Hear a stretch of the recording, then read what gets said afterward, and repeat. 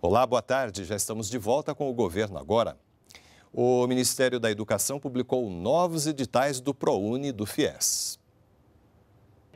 Os estudantes que participaram dos processos seletivos do primeiro semestre devem ficar atentos às datas finais para a entrega dos documentos.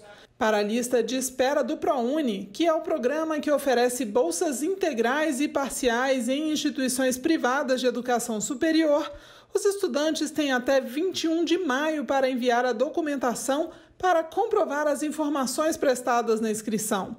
Já para o FIES, o programa do MEC, que financia cursos superiores em instituições particulares, a última pré-seleção dos candidatos será realizada até 22 de maio. Os estudantes que precisarem ainda enviar documentação, eles devem se informar junto à instituição de ensino para saber qual é o canal de acesso para envio de forma digital dessa documentação e para aquelas que estejam funcionando normalmente, essa entrega pode ser então de forma física. Segundo o Ministério da Educação, a medida teve o objetivo de minimizar os prejuízos da pandemia do coronavírus na vida dos estudantes.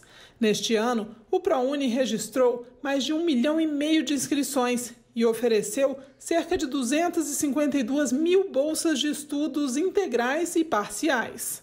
Cerca de 270 mil estudantes se inscreveram no FIES desse ano, que ofereceu 70 mil vagas na modalidade juros zero.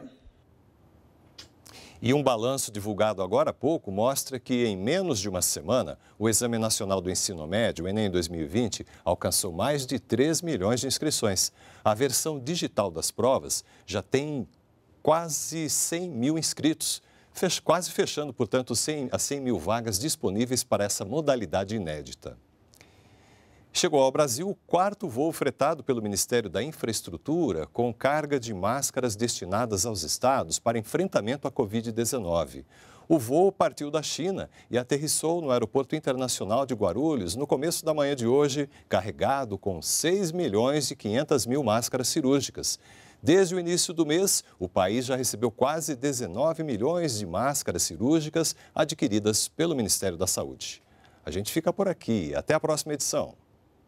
Thank you.